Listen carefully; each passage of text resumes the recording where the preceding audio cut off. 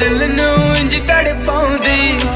ਅੱਖੀਆਂ ਦੇ ਵਿੱਚ ਵਸਦੀ ਐ ਤੂੰ ਸਾਹਮਣੇ ਕਿਉਂ ਨਹੀਂ ਆਉਂਦੀ